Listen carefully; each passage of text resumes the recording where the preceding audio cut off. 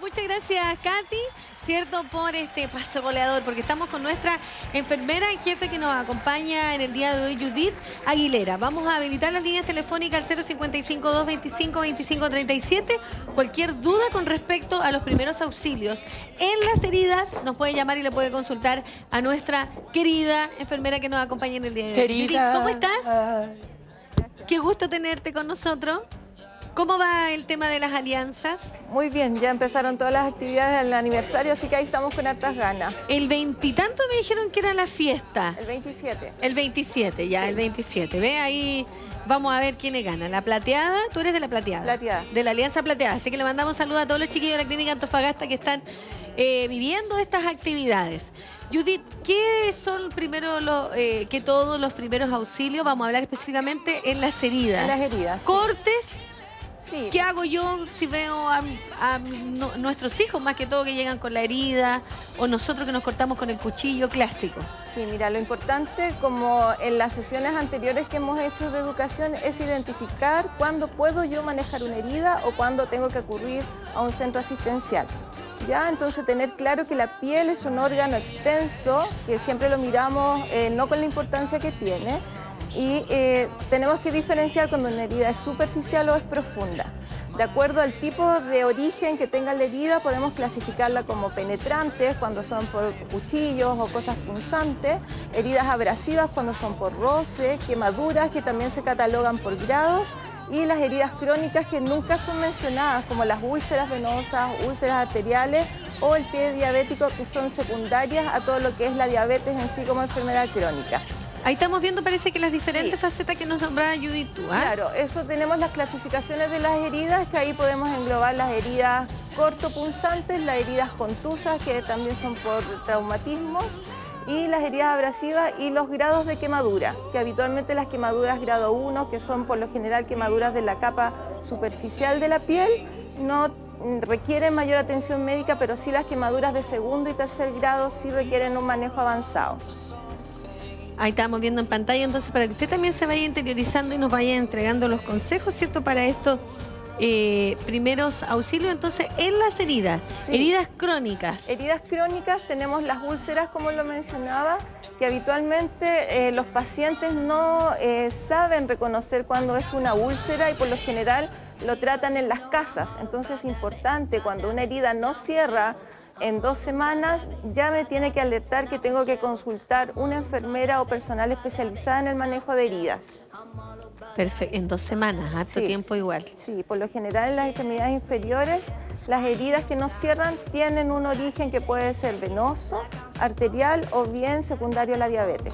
Pero por ejemplo, yéndolos al, al clásico clásico que uno hace, eh, uno se corta con un cuchillo o ve que tu hijo se cae en la calle y llega con sangre, uno primero que hace es echarle agua. ¿Eso es bueno o eso es malo? Mira, idealmente eh, deberíamos tener acondicionado en nuestras casas un botiquín con lo básico. Lo básico es tener un suero fisiológico, apósitos limpios, una gasa y una venda. Ya eso es lo mínimo que tenemos para manejar una herida. Ya el hecho de tener povidón, alcohol, eso ya está obsoleto. No debemos aplicar ni alcohol. ¿Te acuerdas cuando nos caíamos y las rodillas peladas y la mamá te y yo echaba me acuerdo que la mamá te echaba oxigenada y aparte te limpiaba la herida y se podía, le metía el dedo y le sacaba la tierra. Claro, Era así como, ah, Eso ya no se hace. Antes, mientras más espuma, era mejor. Ahora no. Mientras más fisiológico, es mejor.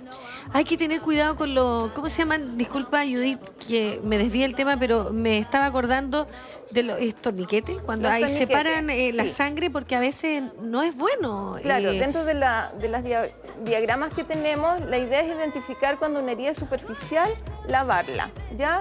Primero, lo que mencionábamos, tener en el botiquín un, un botiquín básico, que tengamos apósitos, eh, sueros fisiológicos, vendajes. Y obviamente no tener alcohol, no tener agua oxigenada o muchas veces las mamás le echan maicena a las quemaduras, le echan hipoglós a las quemaduras. Pasta de diente también. Pasta de dientes, eso ya no.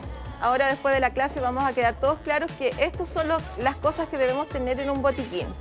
Después los pasos que tenemos que seguir eh, es lavarnos las manos para atender la herida, porque lo que vamos a hacer es evitar la infección o minimizar el riesgo de infección.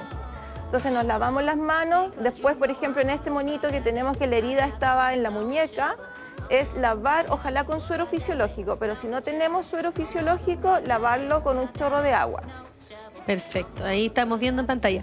No meterla, abrir la herida para que le entre agua. No, la idea es que el mismo flujo del agua del suero por arrastre elimine todo lo que son piedrecillas, pedazos de vidrio. Otra consulta cuando, por ejemplo, no quiere eh, parar la sangre. No, pone la cabeza hacia arriba, no que levanta el brazo. ¿Eso es bueno, Judith? Sí, mira, en el otro diagrama que tenemos, en caso que la herida esté con pérdida de sangre, tenemos que saber identificar cuándo es un flujo arterial, que cuando hay eh, ruptura de una arteria es un flujo constante de sangre roja brillante.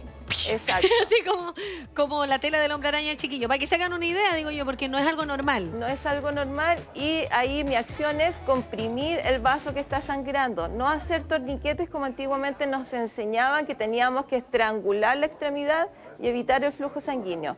La compresión debe ¿Eso puede ser, malo, Judith? Puede ser malo, puede llevar a la necrosis del miembro. Entonces la idea es comprimir, ojalá con un apósito estéril y si no tenemos con lo más limpio que tengamos a la mano, comprimir el sitio de sangramiento. Y después, si cohibo la hemorragia, eh, vendarlo y trasladarlo a un centro asistencial. Oye, vamos a ver, al eh, Yorquita, de inmediato lo que no debemos hacer. Lo que no debemos. Lo que no debemos hacer. Sí, lo importante es manipular la herida con las manos sucias. Siempre tenemos que lavarnos las manos, ya los que estamos asistiendo al herido. Después de eso, eh, dijimos en caso que esté sangrando, no aplicar toniquetes, sino compresión manual con lo más limpio que tengamos. Lo segundo, aplicar vendajes limpios, ojalá si tenemos una sábana limpia, poder cubrir la herida. Idealmente, si tenemos el botiquín, aplicar vendajes limpios, ¿ya? Hay que tener ahí harto cuidado y harto ojo, sobre todo con lo más pequeño que uno le llega a dar pena cuando se caen y más eh, un adulto. Me gustó y eh, poder reiterar lo de la sangre cuando es un eh, rompimiento arterial, digamos. Compresión. ya, el, flujo es Sí, identificar. Cuando es arterial es un flujo constante pulsátil, es decir, es como una bomba. Como una sangre roja brillante. Si es venoso, es, sale sangre más oscura, pero no un flujo tan fuerte. Ya, perfecto, para tenerlo ahí claro.